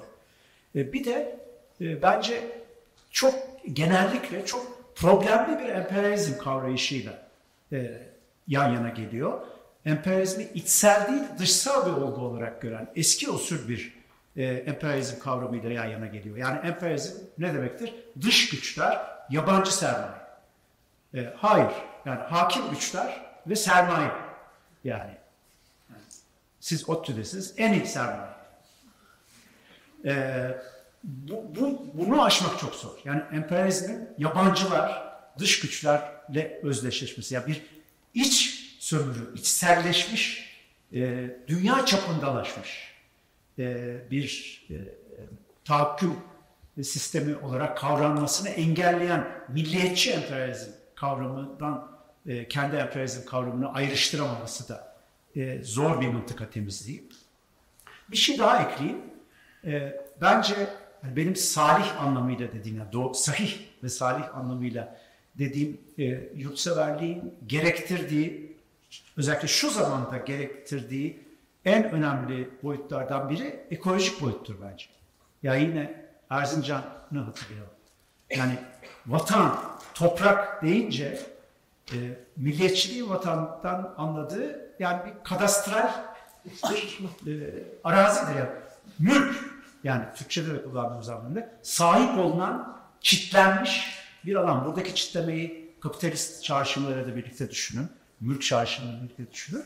toprağı gerçekten toprak olarak düşünmeyi kabul ettirmek ve savunmak çok zor ve cesur bir şey bugün. Ee, bu anlamda bir vatansever, yani ekolojik bir vatanseverlik de bugün çok çok zor ve radikal ve gerekli e, bir boyutu bence. ırk ve millet kavramı birbirine çok farklı kavram değil? Ve milliyetçilik bireyin ırkından mı yoksa milletinden mi beslenir? Çünkü mesela Kürt aslında o Türk milliyetçisi falan yüzü bir insanlar bir Türk milliyetçiliği diyoruz. Anlayabildiniz mi? Biraz heyecan yaptım sonra. Kültürel antropoloji 101. Ee, şimdi Türkçe'de çok yanlış bir şekilde ırkla etnisite birbirine karıştırılıyor. Irk başka bir şey, etnisite. Yani etnisite yerine ırk kavramını kullanıyor insanlar çoğunlukla. İşte Türk ırkındanım, işte Çerkez ırkından vesaire gibi. Halbuki ırk biyolojik bir kavramdır. Ee, ırkçılık kavramı da bu yüzden yanlış kullanılıyor. Yani e, mesela Suriyelilere dönük düşmanlığın veya nefretin nesnesi eğer onların rengi ise, işte ne bileyim onların pis kokmasıysa tırnak içinde, ee, ne bileyim işte mesela Yahudilere dönük nefreti besleyen en önemli motiflerden biri burundu. Yani Yahudi falan. Yani böyle morfolojik, biyolojik özelliklere atıf yaparak dışlıyorsanız bir grubu ve onunla tanımlıyorsanız o grubu yani mesela Yahudi olmadığı halde çengel burunlu biri ya bunun bir geçmişte araştıralım genetiğine bakalım Yahudi çıkar falan diyorsanız bu ırkçılıktır işte. Milliyetçilikle ırkçılık arasında yakın ilişki var. Yani milliyetçilikler ırkçı olabilir. Ama her milliyetçilik ırkçı değildir. Büyük bir tartışma yıllar önce yine canlanmıştı. İşte Türk milliyetçiliğinde ırkçı bir damar vardır argümanı ve ben de bir tarafından onun tarafı olmuştum. Türk milliyetçiliğinde ırkçı bir damar vardı elbette yani. O da işte 30'ların tarih tezinde kendisini gösterdi. Fakat Türk milliyetçiliği ırkçı olamaz. Karşınıza neyi koyacaksınız yani zenciyi mi, sarı ırk neyi koyacaksınız? Yani öyle bir ırkçılık yapacak bir zemin yok. İkincisi öyle bir şey yapmaya kalkarsanız yani insanları biyolojik özelliklere göre ayırt etmeye kalkarsanız Türk'ü bulmakta zorlanırsınız. O yüzden Türk milliyetçi yani e, mesela işte ya kendisine Türk diyorsan mesele yok filan. E, siz Kürtçe konuşuyorsunuz ama aslında Türktünüz. Yani bir değiştiniz. Tamam böyle bu halde Türklüğü kabul edin yine bizdensiniz filan gibi bir arayol bulmak zorundaydı Türk milliyetçiliği. Onu buldu. İfradi e, Türk milliyetçiliği örnekleri var mı? Var. Tanıl biraz önce söyledi. Yani bir yelpaze bu. Ne bileyim Nihal Atsız'a bakarsan zaten yüzde doksanı kesmek lazım. E, ırkçı milliyetçilik de var Türk, e, Türk milliyetçiliği bir tarafında. Yine aynı ekibin Reha Oğuz Türkmenlerin falan pazarladığı. İşte ne bileyim işte şur, şurada bir kemik varmış da o Türklere özgümüş falan. Tamamen yalan yani. Yok öyle bir şey. Öyle biyolojik özellik yok. Ayırt edici biyolojik özellik. Ama oraya atıf yapmak ihtiyacı duyan bir tür milliyetçilik varsa orada ırkçılık da vardır. Fark bu. Ama en temel hata etnisiteyle ırkı karıştırmak. Bunu maalesef herkes yapıyor. Yani o çok yaygın bir şey. Yani okumuşu yazmışla yapıyor. Oradan kaçınmak lazım. Bu kadar. Çok kısa, kısa Suavi ile istişare ve tartışma makamında e, Suavi tabi antropolog formasyonuyla bu konuda daha titiz. Ben e, ben mesela ırkçılığı daha esnek kullanmaya yatkınım. Şöyle ki yani elbette biyolojik ırkçılık, biyolojik ırkçılık her ırkçı biyolojik ırkçılık değildir. Yani biyolojik ırkçılık hakikaten kan, soy, sop arayan. Mesela o anlamda nihalatsız bile biyolojik ırkçı değildir. Ee, Reha Öztürk'ten biyolojik ırkçıdır. Ama mesela ben yine de Nihal Atsız'a örneğin konu o. Ya ırkçı diyebiliyorum çünkü e, et, etniği yani etnik topluluğu öylesine biricik, öylesine imtiyazlı, öylesine bütün diğer etnik topluluklardan bambaşka hasletlerle tanımlıyor ki o bir anlamda hani kültürel ırkçılık olarak tanımlıyorum onu. Ya da mesela sınıfsal ırkçılık terimini bile kullanıyorum. Yani alt, alt sınıfları bayağı görünüşleriyle, davranışlarıyla, konuşmalarıyla damga filan. Yani evet. Ben daha esnek olan falan yanayım. Bir de şunu söyleyeyim, e, yani Nihal Atsız'a atfettiğin ırkçılığın şöyle bir yanı var. E, soyun bozulmasıyla ilgili bir mesele koyuyor ortaya. Mesele, sorun o, o ırkçılıktır tabii. Yani soyun bozulması, yani ama sakın Kürt'le evlenme, Çerkez'le evlenme. Bunu dersen tabii ırkçılık yapıyorsun. Çünkü soyun devamı, soya atıf yaparak, kan kan denen, yani öyle bir şey yok ama. Hele Türkiye'de bunu yapamazsın. İşte Mernis'te şey herkes soyunun erişimine ulaş soyuna erişim sağlayabildi internetten. E herkes bir baktı vay bizde Ermeni çıkıyor, Rum çıkıyor bilmem ne. E, bayağı bir panik yaşandı ülkede ya. O yüzden burada yapamazsınız. Çok zor, zor bir şey. Çok teşekkürler. Çok, çok kapı açıcıydı. Tamam. Özellikle analitik olarak birbirlerinin üzeri inşa edilmişten perspektif her yerlerden. Ee, Suavi Bey bir noktada konuşmasını yaparken bir İsrail örneğinden bahsetti. Bunun önemli olduğunu düşünüyorum. Tanıl'ın bahsettiğin e, milliyetçilik bağlantısıyla bir, bir, bir tür bir ilişkisi var. E, O, o bağlamda bir şey söylüyorum. İlk aklıma gelen İsmet Özel'in mesela e, şey demesi, geçenlerde gene Twitter'a düşmüştü bu. Namaz kılmayan Türk olamaz diye bir, bir, bir tanım var. Bu geldi aklıma. E, Bu analitik perspektifin, ikinizin de beraber kurduğu analitik pers- pers- pers- perspektifin, Mesela şu anda Türkiye'de çok konuşulmayan ama Türkiye dışında gerçekten insanların e, bayağı bayağı bir ilgi duyduğu bu İsrail-Filistin meselesini anlamamızdaki yararı nedir diye sormak istiyorum.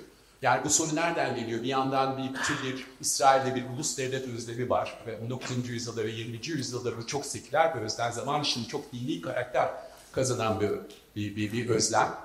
Bir yandan bir Hamas perspektifi var. İhvan geleneğinden gelen, İhvan geleneği de Seyyid Kutb'un işte bu Müslüman internasyonalist geleneğinden çıkan ama şu anda mesela IŞİD'le özdeşleştir, öz- özdeşleştiremeyeceğimiz bir, bir, bir gelenek, bir Filistin kurtuluş, nasyonalist ulusal davası e, ilişkisi var. Nasıl anlayacağız? Yani bu perspektif bizi mesela Türkiye dışındaki bu sorunu, İsrail-Filistin sorununu almamızda nasıl bir yardımcı olabilir? diye geldi aklıma. Yani bu çok somut bir şey ben sizi beklemiyorum ama sizin yapmanız yeterli. Bilmiyorum. Yani bol ağır. Ee, ya ben mesela bu Gazze meselesine bir devlet meselesi olarak bakıyorum. Biraz önce söylediğim gibi milliyetçilikle e, devlet arasındaki mesafenin kalmadığı bir örnek İsrail şu anda. İsrail devleti milliyetçi, e, dindar milliyetçilik tabii oradaki farklı bir şey.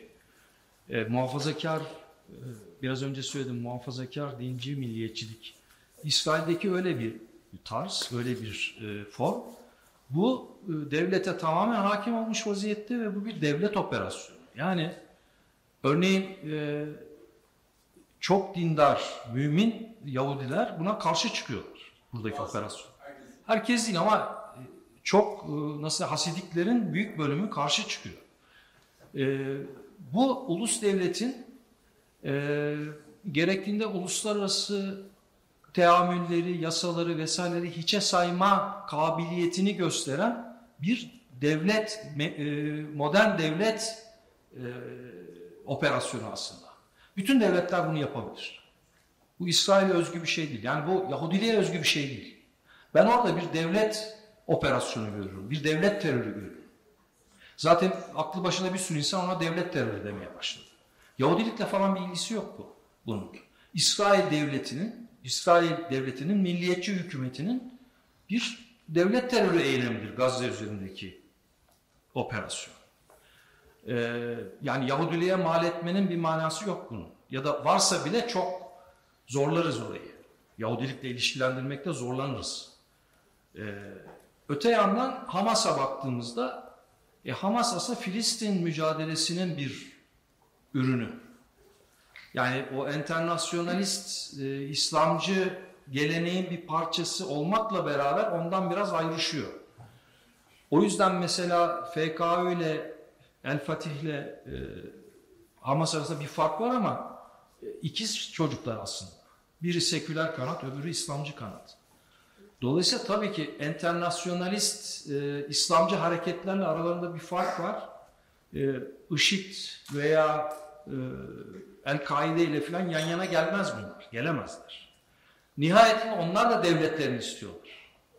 Yani e, IŞİD'in hayal ettiği türden bir İslam devleti, bir Darül İslam peşinde değiller. Filistin devletinin peşindeler. Bir İslamcı bir devlet peşinde, öbürü daha seküler bir devlet peşinde. Ee, Ben böyle görüyorum oradaki e, hikayeyi. Yani devleti görmeden, ulus devletin bu formunu görmeden oradaki olayı anlayamayız. Bunu bütün devletler ellerine fırsat geçtiğinde yaparlar. Ve yaptılar da. Ben Nihat Kore'ye daha az vakıfım. Suabi'den yine e, söylediği yerden devamlı kısa iki şey söyleyeceğim. E, Bir tanesi bana özellikle gerçekten yani, e, yani devlet operasyonu e, cephesinin vurgulanması bana çok önemli geliyor. Çünkü bana öyle geliyor ki sadece bu son operasyonda değil, epey bir zamandır İsrail devletinin güvenlik siyaseti bütün dünya devletleri için, dünyadaki devlet sistemi için güvenliğe yani güvenlik gerekçesiyle eylemenin giderek sınırsızlaştıran bir teknolojiyi ve hukuku öncülük ediyor. Yani korkunç bir emsal oluşturuyor. Bütün dünya devletleri için. E, yani bu güvenlik devleti kavramı var ya. Yani güvenlik devletinin dünya çapındaki bir öncü modeli olarak çok kötü bir rol oynadığını e, düşünüyorum. Onu vurgulamak istedim. Bir de bir tür ağıt gibi aklıma e, Amos Oz geliyor. Birkaç yıl önce ölen e, e, Yahudi barışçı, çok büyük bir yazar, çok büyük bir yazar ve barış hareketi e, ve İsrail solunun önemli şahsiyetlerinden biriydi. Onun İsrail'deki dil politikası ile ilgili yazdıkları geldi şimdi aklıma ve yani işte bu yine milliyetçiliğe bakış açısından ne kadar hani yine yurtseverce diyebileceğimiz bir bakışın mümkünlüğü hakkında e, çok yani böyle saygıyla andığım bir örnekti. E, Oz hem Arapçanın da e, ek resmi dil olarak yani resmi dil olarak kullanılmasını her zaman savundu. Zaten iki devletli bir çözümü savundu her zaman. Bir Filistin devletinin e, kurulması gerektiğini savundu. Onun yanı sıra İsrail devletinin İbranice'yi tek rayda akan e, bir şekilde homojenleştirilmesiyle mücadele ediyor- ediyordu. Çünkü diyordu ki Yidiş kayboluyor. Yidiş e, Doğu Avrupalıların Almanca ile karışmış çok Almanca'ya benzeyen bir yamuk değişik bir İbranicedir. Ladino kaybol- kayboluyor. Ladino'yu biz çok iyi biliyoruz. E, şey İberya kökenli e, İstanbul'da Yahudilerden dolayı. Yani e, Yahudi halklarının geçmişte geliştirdiği lehçeler, kültürler kayboluyor, homojenleştiriliyor. Yani bizzat Yahudi evreni, Yahudi küresi içerisindeki homojenleştirmeyle de e, mücadele ediyordu. Ağıt diyorum ama e, hala İsrail'de küçümsenmeyecek bir muhalif sol hareket var çok şükür. E, bir de ben yani bir detay ama onu almak istedim. Ya, Özellikle açıklamalarınız için teşekkür ederim. Ben milliyetçilik konusu gerçekten e, çok e, kavram olarak kadar farklı zaman zaman çok tereddütler yaşıyoruz. Kendimizle çok tartışıyoruz. E, karanlık noktaları çok fazla olan bir kavram. E, özellikle Suadi Suadi hocamız şey demişti. Türkiye'de milliyetçiliğin amacı devleti yaşatmaktır. Bu nedenle işte atraksiyonları oluyor falan diye. Ee, Ben şöyle düşünüyorum, milliyetçilik ve akılcılık arasında nasıl bir bağ var? Çünkü e, o bazıları e, milliyetçi dediğiniz olay devletin yaşamasına çok fazla hizmet etmeyen uygulamalar, açıklamalar ya da şeyler, politikalar görüyoruz. Ee, yani milliyetçilik gerçekten benim için çok karanlık, çok tartışmalı bir alan. Kendimi sık sık sorguya çektiğimiz bir alan. Bu kavrama daha çok açıklık getirilmesi e, çok üzerinde düşünülmesi gerektiğini düşünüyorum. E, özellikle sorduğum konu milliyetçilik ve akılcılık arasındaki ilişki. Böyle bir ikili bir ilişki var mı? Sadece Hegel'e kadar geri gidebilirim. Hegel e, akılcı yani Geist'in yerine aklı yerleştiren biri olarak ve devleti yücelten biri olarak bir ilişki kurmuş belli ki. Ama sonra nasıl bu sürdür? Yani e, reel politiğin rasyonalizmi ile felsefi rasyonalizm arasında bir fark var. Reel politiğin rasyonalitesi açısından milliyetçilikler kendini her zaman haklı görebilirler. Yani e, ne bileyim mesela e, milliyetçilik açısından çok iyi bir örnek olmayabilir ama e, Nagasaki'ye atom bombası atılması meselesi. Bunu rasyonelleştirebilir miyiz? E, pekala Truman rejimi rasyonelleştirdi. Eğer biz oraya e, bomba atıp savaşı bitirmeseydik e, 4-5 milyon Amerikalıyı daha feda etmek zorunda kalabilirdik dedi mesela. Bu bir rasyonel açıklama bir tarafıyla. Ama ortada büyük bir felaket var. Yani e, belki milliyetçiliğin rasyoneliteyle ilişkisini değil de milliyetçiliğin etikle ilişkisini konuşmak gerekir. Yani e, etik mesele olarak milliyetçilik ciddi bir e, problem olarak bana sorarsanız. Ama rasyoneliteyi kendi içinde özellikle reel politik açısından rahatlıkla kurabilir bütün milliyetçilikler. Felsefi rasyoneliteyle ilişkisini ben kuramam. Bilmiyorum diye. İlgili kalmış. Teşekkürler. Konuşmacıya çok teşekkür ederim. Ben Sabi Hoca'ya bir soru sormak istiyorum. Bu ulus, ulus devlet tahayyülü olmadan e, milliyetçilik olmaz hani e, dediniz. Ya teorik olarak bu benim e, aklıma yatıyor. Buna daha yakınım ama özellikle Osmanlı İmparatorluğu'nun son dönemleri için bazı araştırmacılar, tarihçiler e, ulus devlet tahayyülü olmayan milliyetçiliklerden bahsediyorlar. Mesela James Klein işte 1900 8 1918 arası Kürt milliyetçiliğinin aslında bir yani Osmanlıcı hem Kürdüz ama Osmanlı şeyiyle yani bir ulus devlet e, aramayan ya da Arap milliyetçiliğinin 1916'ya kadar öyle olduğu e, söyleniyor mesela. Bu e, Hürof'tan sonra yola çıkarak bir teori şey yapıyor ve bunu e, şey yapıyor. Buna e, hani dediğim gibi teorik olarak öbür pozisyon daha çok benim aklıma yatıyor ama e, tarihsel örneklerde de aslında James Klein vesaire okuduğumuzda da hani ikna ol, olabiliyoruz. Ee, işte biraz daha öncesinde mesela Bulgar e, milliyetçiliğinde bir miktar var. Osmanlıcılığa göre işte e, padişahtan çar diye bahsediyor falan. Bulgarız ama Osmanlıyız falan gibi. Bunlar, e, bu tarz örneklerle teoriyi nasıl bağdaştırabiliriz gibi sorarak bağlayayım. Kürt milliyetçiliğini bence konuşmayalım o dönemde çünkü çok zayıf. Birkaç entelektüelin düşüncesinden türemiş sosyal zemini olmayan bir hareket veya bir düşünceydi. Fakat Arap milliyetçiliğinin ilk talebi bir tür Avusturya Macaristan modeliydi. Avusturya Macaristan'daki 1800 yanlış, yanlış söylemiyorsam 56 mıdır? Kaiserlik und 63. Kaiserlik und Königlich modeli. Bu modeli e, istiyordu Arap milliyetçilerin çoğu. Yani Arapların bir ulus olarak tanınmasını istiyorlar. Tıpkı Macarlar gibi. E, Avusturya Macaristan Birinci Dünya Savaşı'ndan sonra ulus devletler halinde kendilerini yani bu büyük ihtimalle böyle bir çözüm, ara çözüm bulunsa bile Bulgarlarda da e, Birinci Dünya Savaşı beklemeden oldu zaten. Bulgar milliyetçinin böyle bir çözüm vardı ama bir ara yol yani o e, henüz bağımsızlığı elde edememiş e, işte Berlin Konferansı sonrası koşullarında bu bir öneri aslında. Yani biz sizi tanıyalım sultan olarak ama siz de bizi ulus olarak tanıyın. Ayrı bir antite olarak tanıyın. Ama ilk fırsatta ayrıldılar. Yani milliyetçilik girdiği zaman ulus devleti istemekten vazgeçmek pek görülen bir şey değil tarihte. Yani tarihe baktığımız zaman bunu görüyoruz ama şu olsaydı ne olurdu filan bilemiyorum. Ama varılacak yol bellidir. Abi izninizle çok kısa bir şey ekleyip bunun devamında. Ee, Marksizm içinde Avstro-Marksizm akımı vardır bilirsiniz. Otto Bauer, Karl Renner.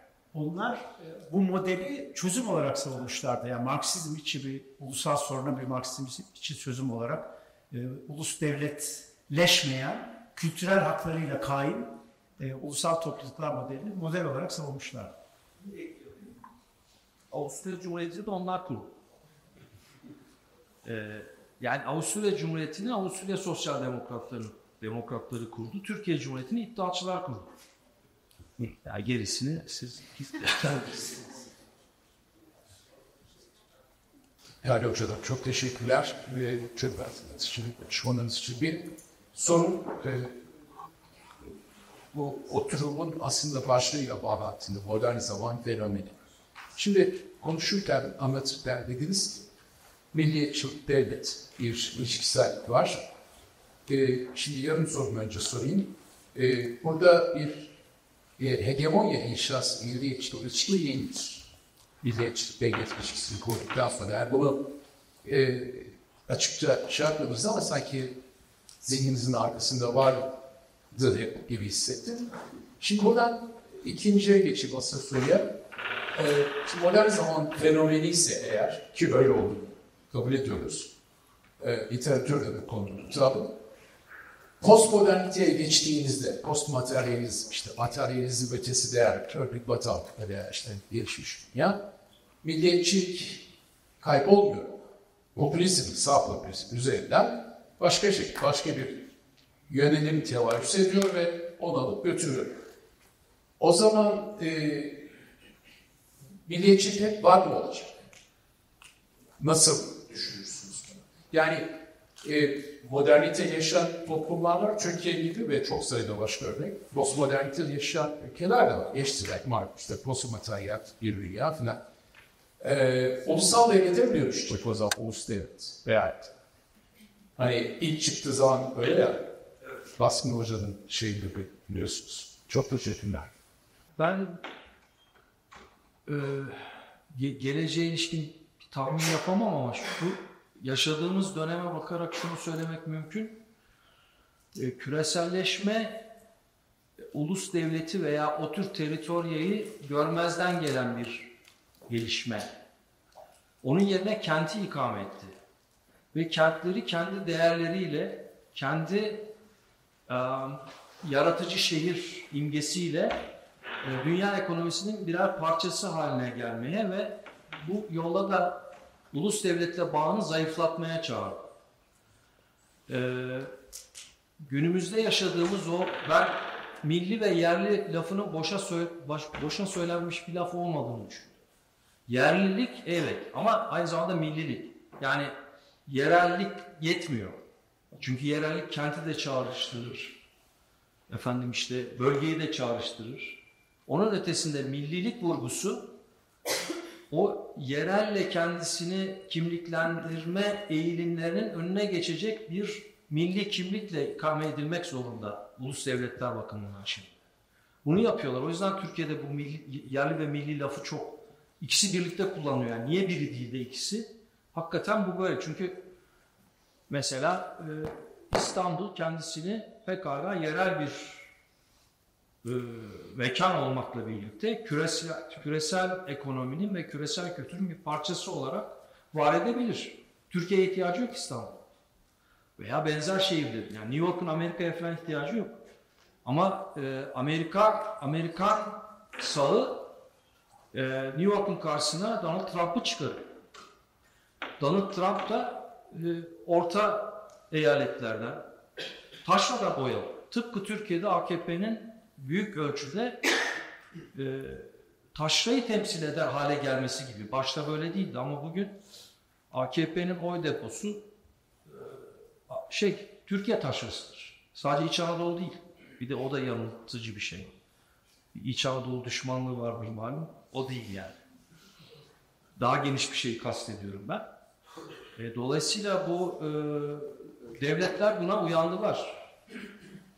Ve buna karşı e, biraz önce Tanrı'nın anlattığı o e, yeni yalnızlaşma süreçleriyle ilişki kurarak çok ustalıkla milliyetçiliği işte bu popülist e, sosla e, süsleyip e, halkın önüne koyuyorlar ve oradan da başarılı sonuçlar elde ediyorlar. Şu an onu yaşıyoruz ama sonra ne olur bilmiyorum. Herhalde e, şeyin e, yani sosyal, solun güç, güçlenmesi lazım. Başka yolu görünmüyor yani. Sol sol hareketlerin yeniden gücünü kazanıp işçi sınıfı dediğimiz sınıfın mevcut yeni haliyle yani eski işçi sınıfı da yok artık. Mevcut yeni haliyle işte evde çalışanıyla, şusuyla, busuyla, beyazın mavisi fark etmez ama çalışanların tamamını bir direniş hattı kurması lazım ki buradan sonuç alamasınlar ya da daha ileri yerlere gitmeyin. Kötü yere doğru gidiyor çünkü. Devlette milliyetçi tarafımız alanı e, bu sizin yaptığımız Avrupa'da milliyetçinin ilk devleti zaten ben üç tane söyledim. E, ancak buna karşılık e, bu yani devlet milliyetçiliği düzeyde mobilize ederken e, kendi ilişkin davranırken e, farklı dönemlerde milliyetçiliği aşırı sürene karşı reaksiyoner tavır işte. O zaman buradan hareket şunu söyleyebiliyor mu? Devlet aslında milliyetçiliği bir avaşaf gibi oluyor ve e, radikalleşmesine iktidar tabii mesaj çizdi, hiç vermiyor bir derse. Ama o zaman da şöyle bir soru çıktı ortaya. E, devlet milliyetçi bir arasında olarak kullanırken milliyetçi ideolojinin paydaşları, tarafları hangi motivasyonla milliyetçi olgusunu sürdürmeye devam ediyor? Yani iktidar talebi ya da devlet paydaşlığı sahne olabilir. Ee, şu tespitiniz doğru. Devlet milliyetçiliği araçsallaştırmış ve e, tuning yapıyor yani. Ayar yapıyor. Konjonktüre göre yani 44'teki yargılamalar bir konjonktürel e, olaydır. Ama e, 46'da işte Niyazi Berkesler'in, Beyce Boranlar'ın sürülmesi de ve buna neden olan Ankara'daki dil tarihteki milliyetçi öğrencilerin ayaklanması da konjonktürel bir olay olarak sonuç vermiştir mesela. E, dolayısıyla e, Soğuk Savaş, ben de onu düşünüyorum. Yani Soğuk Savaş'ı ele almadan hiçbir şey, Soğuk Savaş'ı iyi bilmeden e, Türkiye'deki milliyetçiliği veya başka e, ideolojik kaplaşmaları anlamak da mümkün değil. Soğuk Savaş çok önemli etkiler yarattı ve e, bozucu etkiler de yarattı.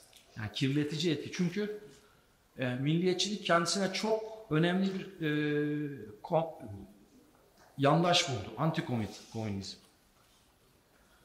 Ve e, muhafazakarlığın kendisine yer açmasında antikomünizm muazzam bir e, imkan yara, imkan sağladı.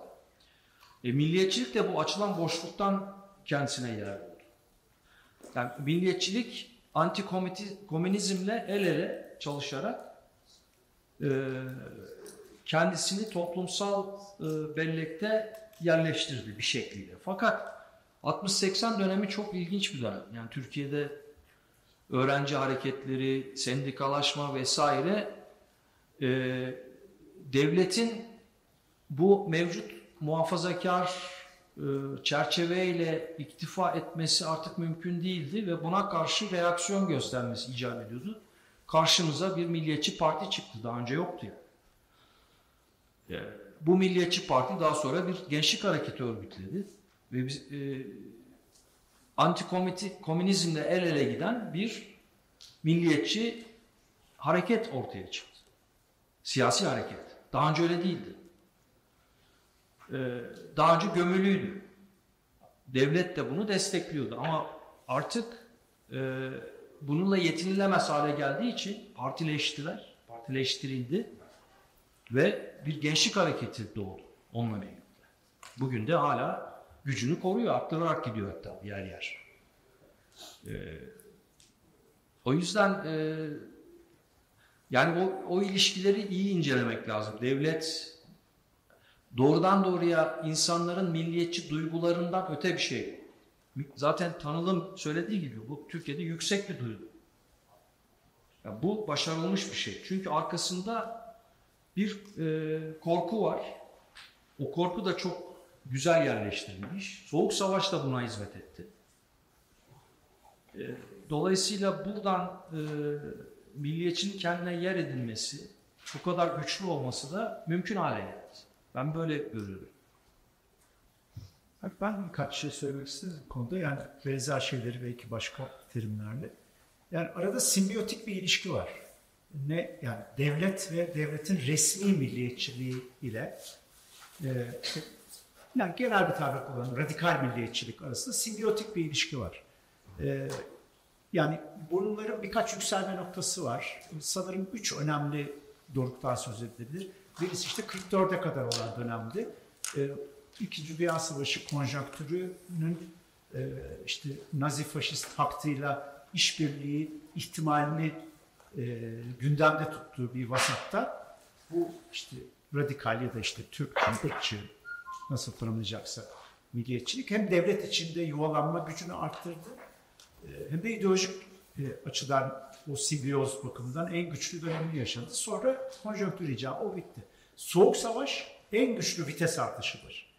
E, ve ya bu dönemde bu yani milliyetçi hareket kendisini devletin kendisini koruma misyonunu yeterince yerine getiremediği, aciz düştüğü, dolayısıyla kendisini devletin özünü, çekirdeğini temsil eden ikame misyonuyla ortaya koydu. Yani kendini koruyamayan devleti korumak. Kendi bilincini yitir, yitirmiş devleti bilinçlendirmek olarak kendi misyonunu koydu. Ee, belki üçüncü, belki değil bana öyle gibi geliyor ki son içinde bulunduğumuz bir işte yakın dönem. 2015 sonrası değil, 2015 yaz sonrası diyelim en geç. Ee, yine hani devletin beka e, zaafa düşen e, devletin beka sorunuyla ilgili e, bir misyon e, üstlenme e, imkanı buldu ve o simbiyozu tekrar güçlü bir evresi oldu. Ama bu simbiyoz hep vardır. Bu e, zaman zaman hani çok uç, kontrol dışına çıkmış, hani abarmış orta ağzı. E, kuvvetlerin tasfiye edildiği olabilir, azarlandığı olabilir, kenara çekildiği olabilir ama bu simbiyotik bir ilişki olarak bu üç doruk anının dışında da kalıcı bir simbiyotik ilişki olduğunu düşünüyorum. Bir tür hani e, kayıt dışı siyaset alanı olarak da aşikar siyaset olarak da simbiyotik, devamlı bir simbiyotik ilişki bence. Milliyetçilik ve sahip popülist moment olarak adlandırabileceğimiz anları yaşarken e, lider figürleri de asla ne görmek gerekiyor onu sormak. Yani işte Trump gibi, Milley gibi, Orban gibi yani bu yeni tip e, lider figürü sizce yeni oluşan bir şey mi? Sağ list tarafı. Milliyetçilik bir ideoloji. Yani aynı zamanda e, bir yapı ulus devlette bağlı ama esas olarak biz ondan bir ideoloji olarak söz ediyoruz. Popülizm bir siyaset tarzı. Bir ideoloji değil. Popülist ideolojinin motiflerinden söz edebiliriz ama yani sol popülizmden, sağ popülizmden yani sıfatsız bir popülizm aslında bize çok bir şey anlatmıyor. E, bugün gündemde olan daha çok genellikle milliyetçi muhafazakar diyebileceğimiz ya da sağ diyebileceğimiz popülizm bugün güçlü olan ve popülist siyaset etme tarzında zaten lider program değerindedir. Ya popülizmin programı hikayedir ya çok önemli değil. Onu da der, bunu da der. Siyaset etme tarzı önemli ve o siyaset etme tarzında da halkla aracısız ilişki kuran lider figürü kurucu değerli bir şey. Yani lidersiz popülizm olmaz. Yani bir şey lider ya, bir halkçı lider, bir peron. E, sus olmaz yani. Evita'da olur. Yani e, ama yani zaten lider hakikaten yapısal bir unsur. O, buna yeni değil.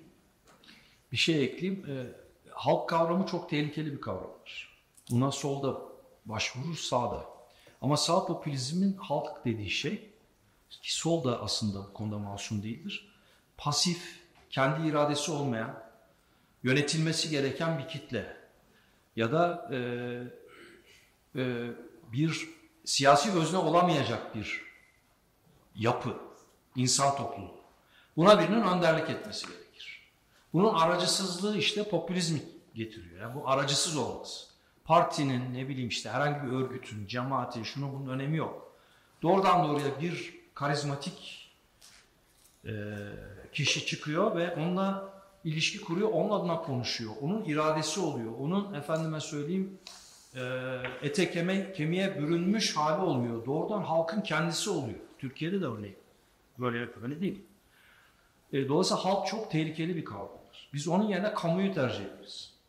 Kamuyla halk arasında fark var. Sol da bunu ıskalıyor.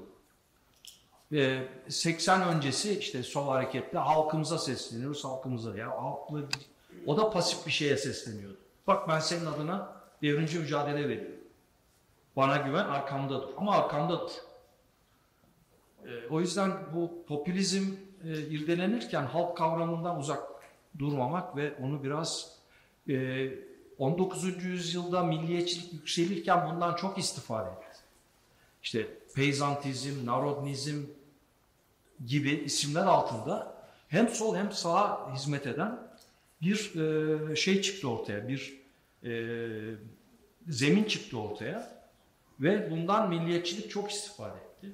Sol da istifade etti ama ikisinin de pasif bir e, özneye hitap ettiğini unutmamak lazım. Türk milletinin kuruluşunda hep şimdi şöyle şeyler hatırlayalım. Müzik önemli bir ilgidir. Halk müziğinin kutsama vardır. Çok uzun bir geçmişten bozulmamış halk müziği millet imgesini belki bir olarak ilerlemiştir. İşte oradan devşiren Türk halk müzik kavramımız vardı. Halk biliminin ana aksı diyebileceğimiz milliyetçi damarı da işte bu ülkede üretilen bütün bir yelpazeye Türk halk müziği, türkü adı olarak yaşıyordu. Şimdi son 20 yıldır Türkçe sözlü değilse türkü demeyelim. Çünkü halk müziği değil başka olsun diye bir anlayış var ama orada da yine milliyetçi damarın dilinde bir öjenik anlayışının da göz kırpıyor.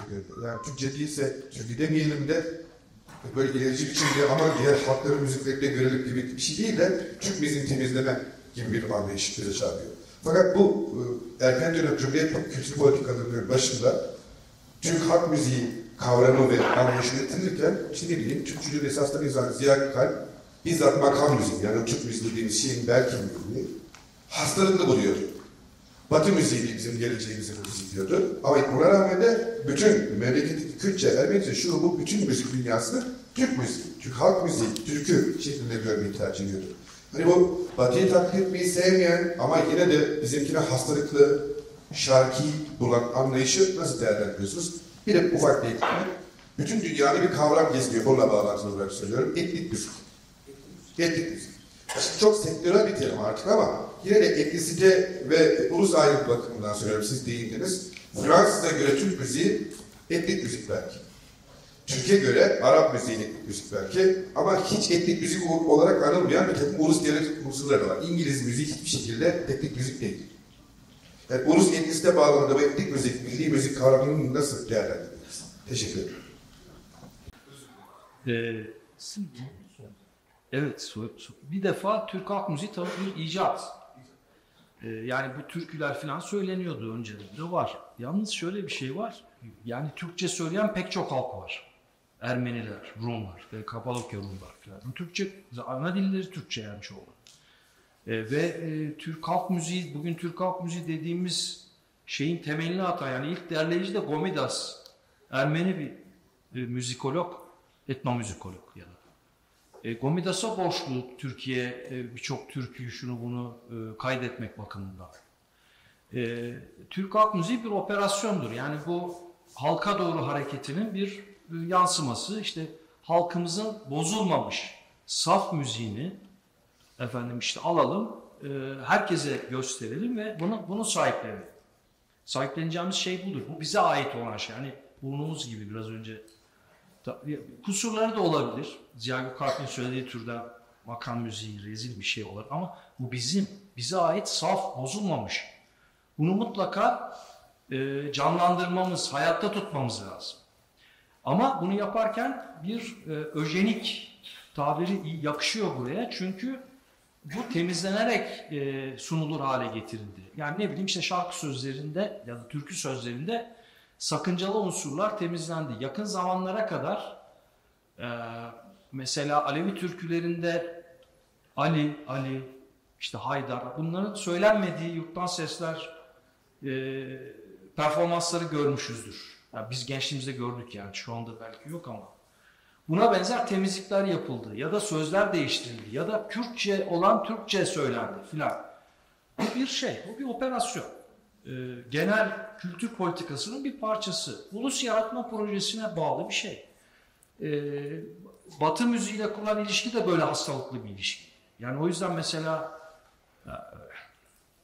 e, Bela Bartok'a ulusal müzik filan dediler. Yani çağın en önemli müzik kompozitörüne ulusal müzisyen diyorsun. Olacak iş değil. Adam çağını aşan müzik yapmaya çalışıyor. Onun için ses arıyor. Buralara kadar geliyor yani. Ses arıyorlar bunlar. Ve e, iki savaş arasının ve savaşların e, dramını, trajedisini müzik yapıyorlar. O, o, o dramı, trajediyi müziğe çevirmeye çalışıyorlar. Bizde de Türk beşleri e, çiftetelli yapıyor. Yani aradaki farkı göremeyecek bir e, müzik, müzikal körlük de bunun yanında inşa edildi. Dolayısıyla bu çok uzun bir hikaye. Yani e, burada keseyim ben çünkü uzar. Ya. Doğru. Doğru.